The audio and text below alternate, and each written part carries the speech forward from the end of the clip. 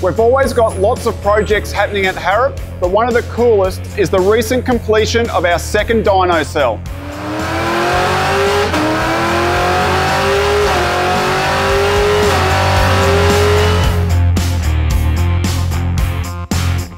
For over 10 years, we've used Dynapack to do all our chassis dyno work. They're extremely accurate and repeatable, and at the time, they were the only hub dyno available. Manufactured in New Zealand, they remove all of the variation that tyre slip, tyre pressure and tie down method can cause.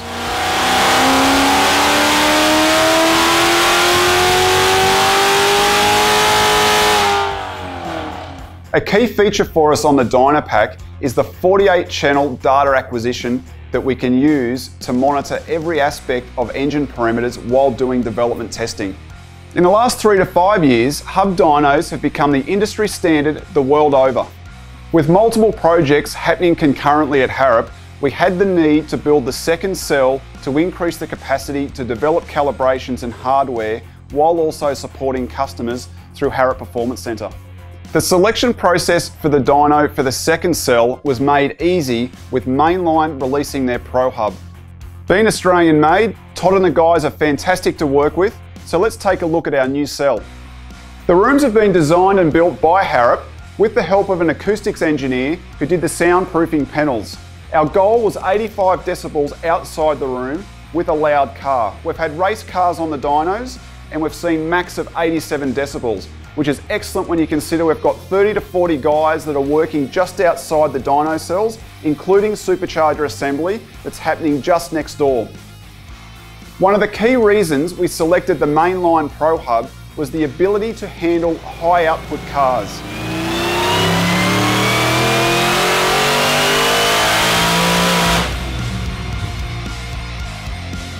With the Dynapack, with its hydraulic or water control absorbers, we often max out the torque limit once you take account of the transmission and final drive ratio.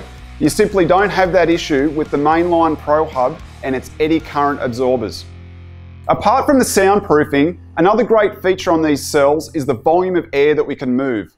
We've got twin inlet and twin exhaust fans on both cells with the ability to move 1500 cubic metres of air per minute across the car.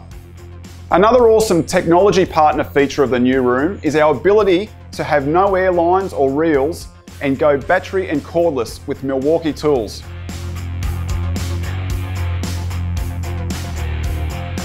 Our engineering team love using Milwaukee impact ratchets, wrenches and drivers. Going cordless has created a cleaner and safer environment for our team. A feature we love on the Pro Hub is the ability to tune the transmission by running the car up through the gears at full load.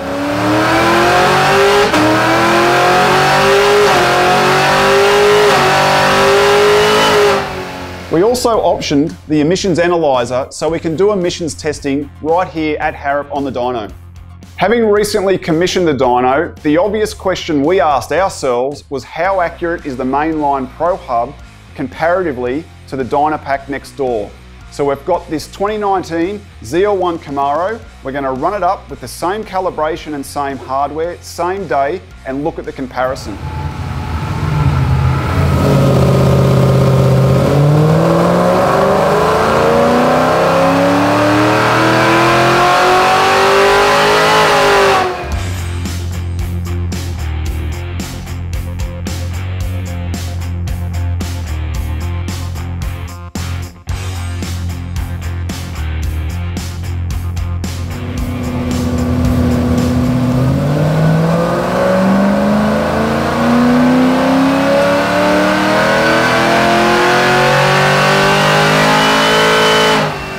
We ran the Camaro up on the mainline Pro Hub first thing in the morning and we saw a peak power of 506 kilowatts.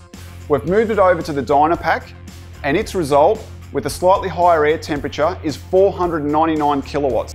So back to back, same day, same car, same hardware, same calibration, we're seeing a 7 kilowatt difference, which is a little over 1%, which is a great testament to hub dyno technology and the repeatability. And it's exactly why Harrop uses this technology to develop our superchargers and hardware systems.